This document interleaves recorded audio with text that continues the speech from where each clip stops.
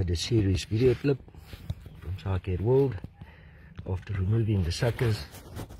Don't be shy with the Benomyl and the hormone powder. Treat the wounds properly and leave the hole open for at least three days so everything can dry and you don't get any fungi start growing. Thank you.